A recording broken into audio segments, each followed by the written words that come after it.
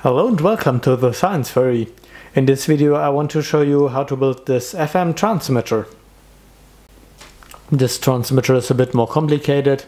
It consists of an audio amplifier, an oscillator, an RF amplifier and a filter. Also I can control the frequency with this potentiometer. This is the circuit diagram. You can see there is no potentiometer because I used a special component, a varicap, to control the uh, frequency of this circuit and I don't have this in the circuit diagram. In this place I only have a trimmer capacitor and you can adjust the frequency by just trimming the capacitor.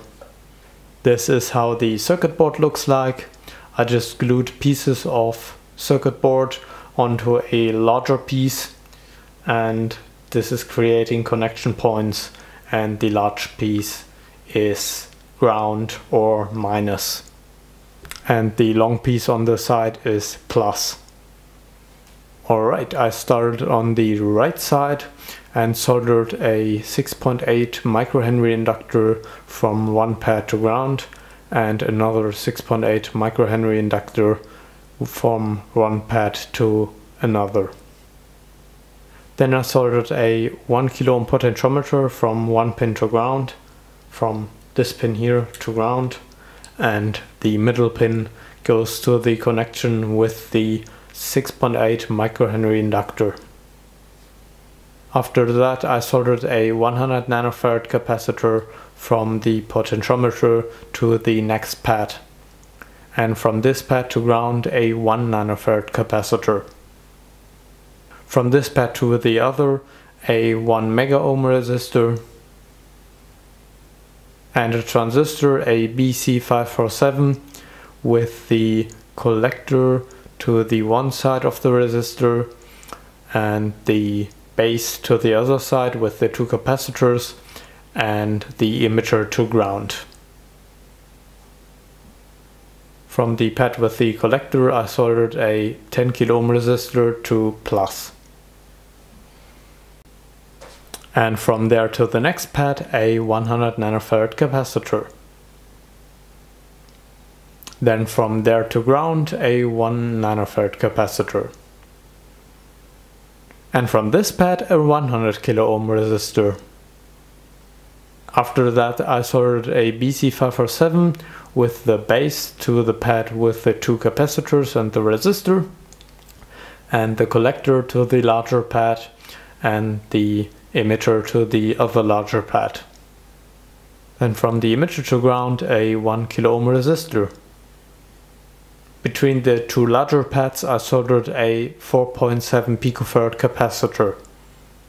At this point I added another pad because I forgot it. It's because of the uh, and you don't have to do this if you only have a variable capacitor. I made a prototype with a variable capacitor and there are these two pads missing and you just have the variable capacitor to adjust the frequency. After that I soldered a BB547B varicap with the marking to the pad facing in the direction of the larger pad. And from this pad to the larger pad a 1 nanofarad capacitor.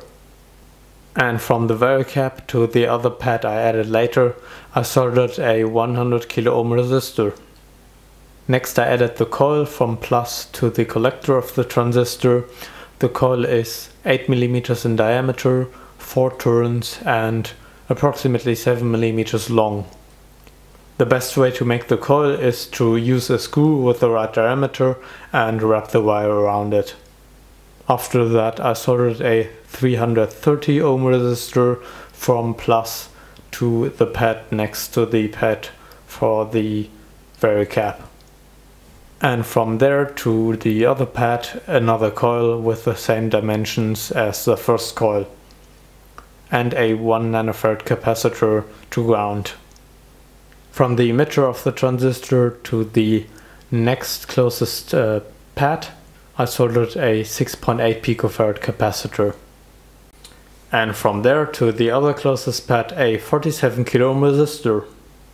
And next I added another BC547 transistor with the collector to the coil, with the base to the other side of the resistor and with the emitter to ground.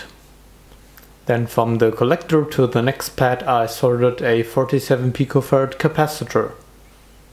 And from there to ground an 86 picofarad capacitor. Then another coil to the last pad with 8 millimeters diameter and 8 turns. And the length of the coil is approximately 50 millimeters. From the last pad to ground I added an 40 picofarad trimmer capacitor and then a 10 microfarad capacitor from plus to ground. To control the frequency with the varicap I added a 10 kilo ohm potentiometer with one pin to plus, with the other pin to minus, and with the middle pin to the resistor to the pad with the 100 kilo ohm resistor.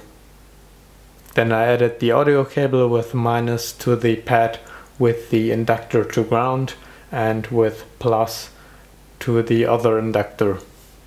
And at the end I added the power cable with plus to the uh, long piece of PCB I glued on there and with minus to the entire rest of the PCB.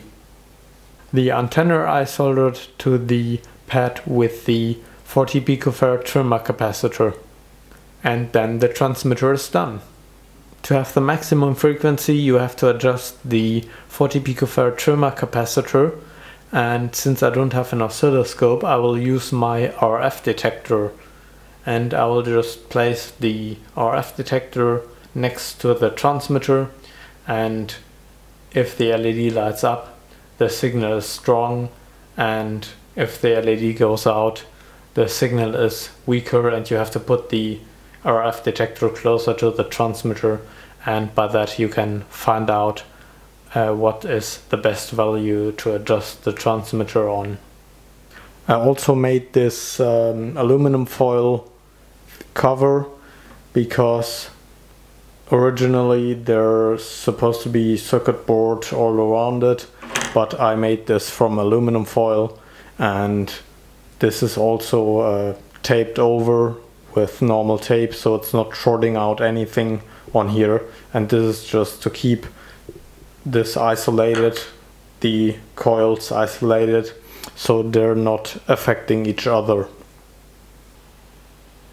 alright I switched on the transmitter. Maybe have to adjust it again.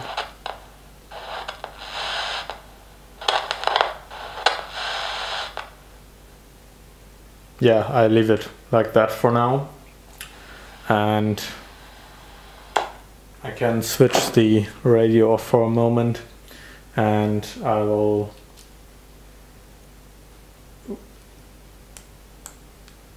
switch the RF detector on and you can see the LED is already blinking. Now it's going out.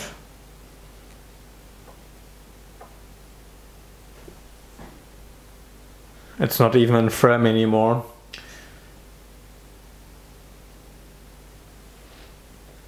And the LED is down here. And it's still blinking on a pretty far distance and I will now adjust this potentiometer and see if the LED goes out or if I can move the LED further away and then I can see if I can move the LED further away that the signal is stronger.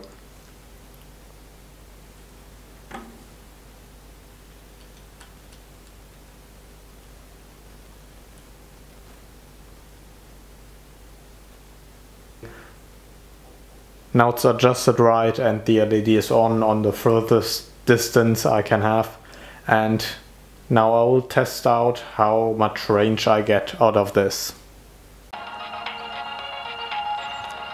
Alright, I'm just outside and I will go around these buildings and check how far I can walk until the signal does not get received anymore at the moment uh, when the camera is uh, when it's too close to the camera it's um, getting disturbed or something. So I can't have the radio too close to the camera. But I will keep walking and see how far how much range I have. Alright I'm behind this building and it's pretty weak and it's not that far away a couple meters. And if I go a bit this direction then it's completely gone. And yeah so out of buildings it's not a huge distance.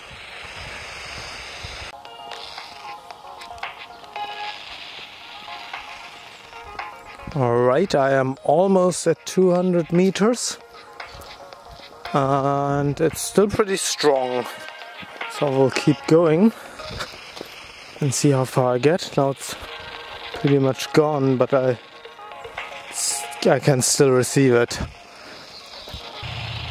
Uh, a moment ago I was still able to receive it.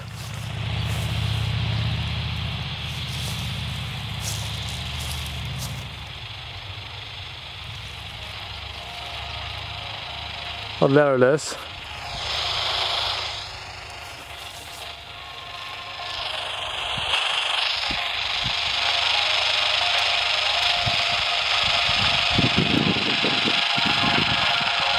There it is, yes.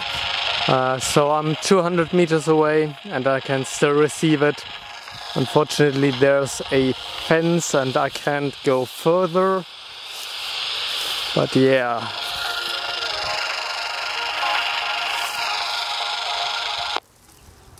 So yeah, 200 meters. I can't go any further because there's this fence. But 200 meters is pretty okay for a transmitter.